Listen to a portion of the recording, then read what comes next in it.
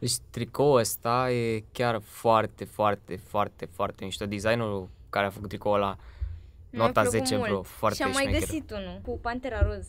Una din chestiile cele mai importante atunci când faci vlog, iar toată lumea în ziua de azi face ori vloguri, ori shorturi, ori reel ori habar n-am, filmează chestii random, este un trepied sau un mini trepied, ca să poți să ții camera un pic mai confortabil, adică să nu o ții în mână așa cum o țin eu acum și să stremure mâna sau să o ții foarte incomod.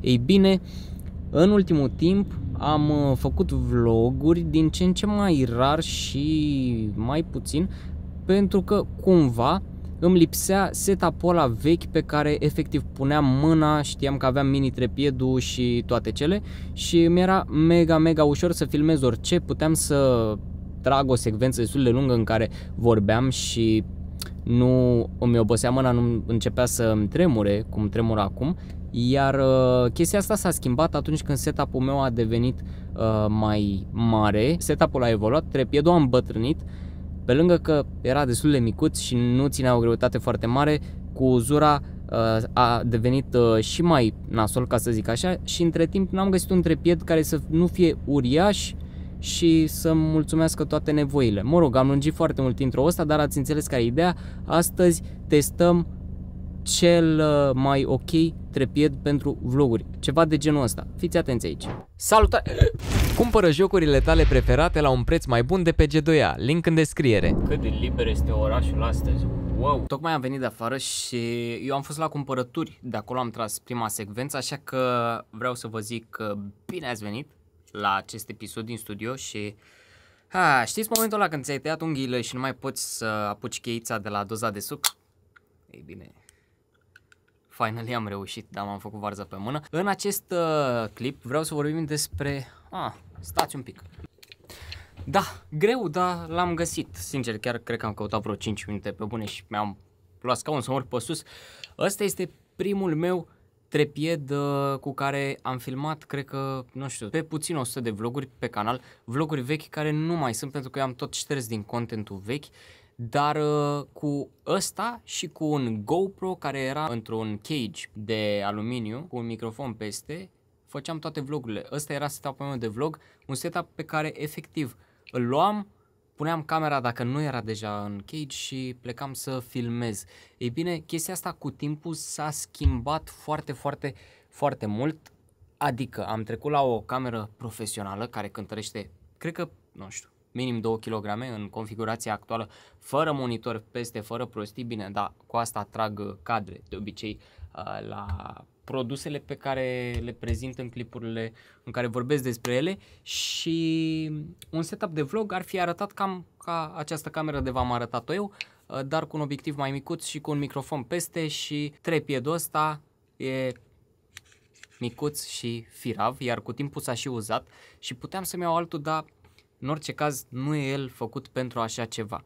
Dar um, vreau să ajung la uh, mesaj, mesajul acestui clip și anume cât de important era să am un trepied de genul ăsta pentru că în momentul de față mi se pare foarte greu și nu greu, greu nu e, e incomod să filmez un vlog.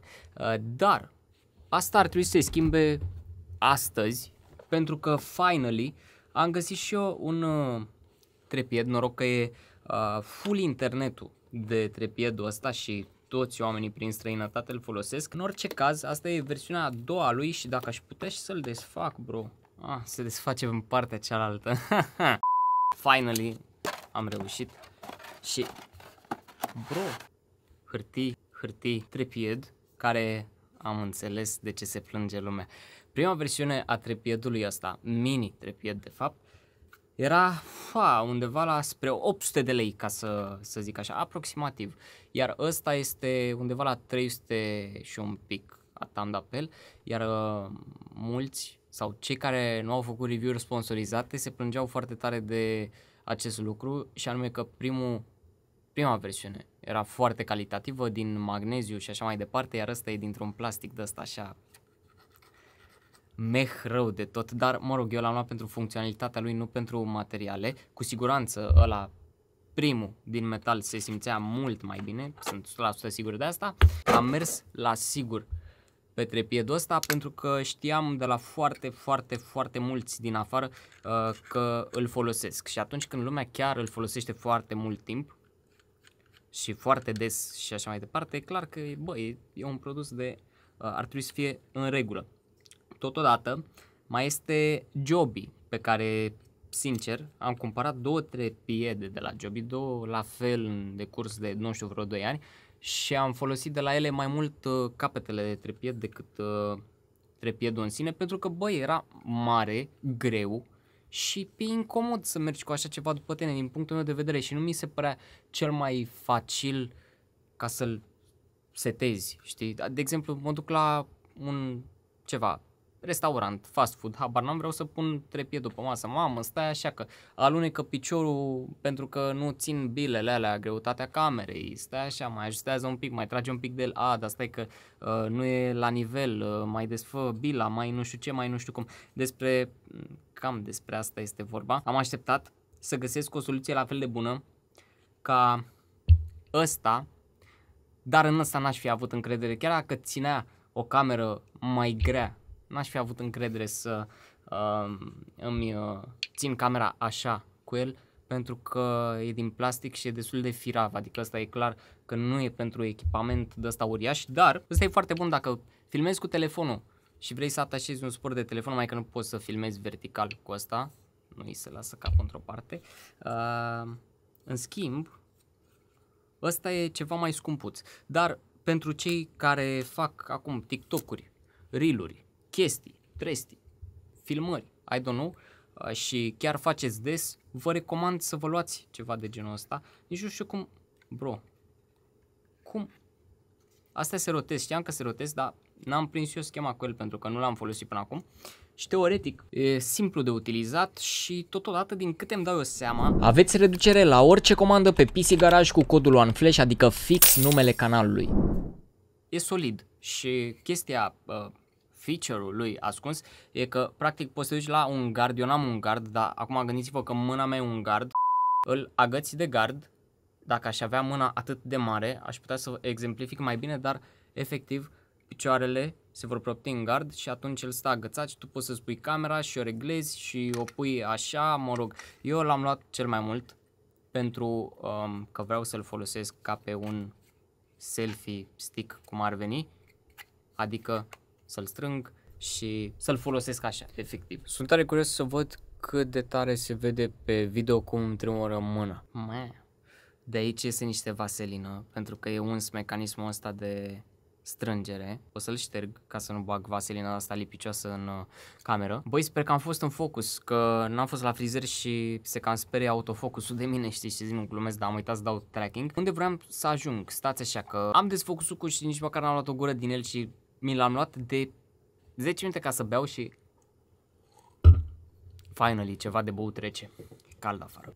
Băi, cât de lipicioasă e vaselina asta. E de aia specială de uns uh, capete fluide și prostii de genul ăsta. Da, nașpa. Iar acum ar trebui să am și eu un setup de genul cameră, microfon pe ea, o pun pe trepiedul ăsta și practic o iau prin mașină, o așez jos, trepiedul nu e uriaș și, na, mă rog, vreau să bag camera în rucsac, scot microfonul, scot trepiedul ăsta, îl bag în buzunarul ăla de apă sau ceva de genul ăsta, să îl arunc pe banchetă sau îl bag în buzunar, fel și fel de uh, variante. Uh, iar uh, acest episod cred că ar fi trebuit să fie ceva de genul un approve, că presupun că cei care își caută echipament nu-și caută pe la canale din România. Dar pentru abonații care își caut echipament pe la review-uri din afară, uite că aveți și confirmarea mea. Eu sunt sigur că ăsta e, e un trepied ok și nu e clip sponsorizat, tocmai am venit de afară, am dat banii pe el, gen, și am mai luat și alte chestii. Intrăm și noi în rândul lumii cu filmări fluide făcute pe gimbal, la produse mai ales, pentru că asta mă interesează pe mine, să fac niște bă, b-roll, bă, greu de zis uneori b-roll, da, să fac niște b-roll-uri mai uh, interesante, mai uh, fluide, mai atractive, mai, mă rog, pentru că mi se pare fo- foarte satisfying și atunci când vezi clipul final și atunci când editezi efectiv, că până la urmă editatul video e ca, ca un joc, aș putea spune, uneori. Depinde ce editezi. Știi că poate dacă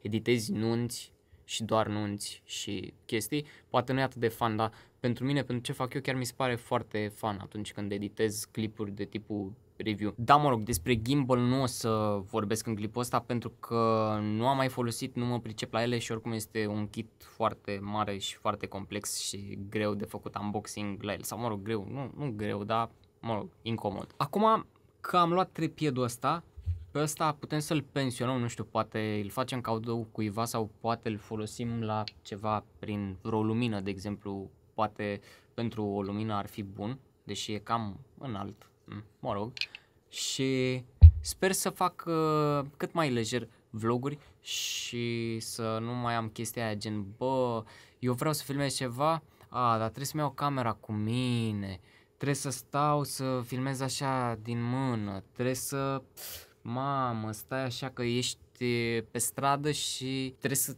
să te întinzi, cum să zic, să, să faci un fel de statuia libertății așa cu camera ca să prinzi cât mai mult și, mă rog, și se uită toată lumea și te întreabă dacă ești de la televiziune, că am pățit. Am, chiar un vlog, cred că ați văzut vlogul ăla în care m-au întrebat dacă sunt de la televiziune, oameni rândă pe stradă. Da, sunt fel și fel de chestii astea dubioase. Nu că mi-ar păsa prea tare, dar ca idee. Sper să dispară disconfortul ăsta și să creez uh, cât mai mult content, iar uh, voi sper că uh, ați aflat de trepiedul ăsta în caz că erați în căutare de unul și uh, vroiați ceva de calitate.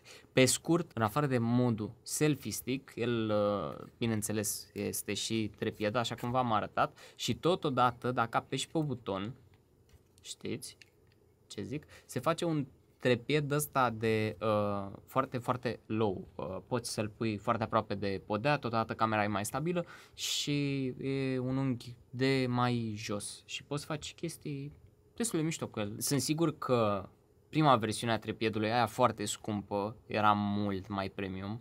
Și mai avea un feature interesant aici, unde puneai, mutai capul de trepied și practic aveai un trepied și mai lung, că îl țineai de picioare, picioarele desfăcute, mă rog, chestii de genul ăsta, da, presupun că era foarte premium. Trepiedul se numește PGY Tech, PGY TKH Mantis Pod 2.0 Asta e versiunea fără telecomandă, fără nimic, eu nu am vrut telecomandă, n-am mai vrut încă o chestie extra de încărcat și cam ăsta este. Încheiem ziua mega leneșă de luni în care doar am intrat un pic la muncă și am fost uh, la cumpărături. Chiar acum vreau să mă bag să mă joc niște canter, așa că vă reamintesc că ne vedem seara de seară pe stream și vă aștept pentru că nu vorbim doar de canter. Pe stream putem să vorbim despre absolut orice. Eu am fost Flash, o zi cât mai bună și nu uitați că aveți reducere la absolut orice comandă pe PC Garage cu doamna Flash, adică fix numele canalului și vă puteți scoate transportul sau măcar un cico așa că profitați de la maxim. Să vă zic, să nu vă zic, vă zic. Tot e greu să ții camera, pentru că e grea până la urmă și acum e și mai greu. Dar fizic, chiar dacă e mai greu să ții camera pentru că o ai practic pe un băț care are la capăt o greutate destul de mare, e bine, măcar e mai comod în sensul că nu mai ai mâna întinsă, ci o ai cumva jumate pe lângă corp și stai mai natural și mai relaxat. Doamna Venina, ce ziceți de trepiedul ăsta? Trepied? Da, e trepiedul selfie stick, ceva e Foarte interesant. interesant. Poți să dai să îl țin puțin? Chiar așa pe video? S-a lovit white balance-ul. Ah. Ce? Am făcut ceva? Nu, e pe auto și te vezi albastră. Gata, e ok, foarte grea și tremură mâna. Sunt tare curios să văd cât de tare se vede pe video cum îmi tremură mâna. Pentru că Sony nu are cea mai bună stabilizare. Panasonic e the king când vine vorba de stabilizare, iar Panasonic-ul, din păcate, nu-l mai folosesc la vlog pentru că autofocusul e... Nici măcar nu pot spune că focusează unde vrea el. Nici nu știe unde vrea să focuseze.